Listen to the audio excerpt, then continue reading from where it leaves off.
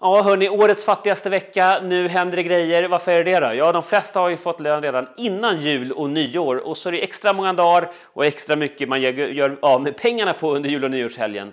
Så eh, jag tipsar om att göra gratissaker. Ta ett långt bad, en lång promenad eller något som faktiskt inte kostar pengar. En vit månad helt enkelt på konsumtion. Kanske på andra grejer också. Och sen ett litet sista stalltips.